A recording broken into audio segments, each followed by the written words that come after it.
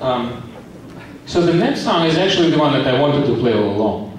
That's the one, that, that, that's the reason you are here today, because I saw somebody else playing that no organ, and there are things that you can do on the theater organ that you can't do on any other instrument. And that, that, that's the song I want to play. Uh, and then I'm going to play the, the Star Spangled Banner, it's called, um, mostly on the pedals, as everybody should.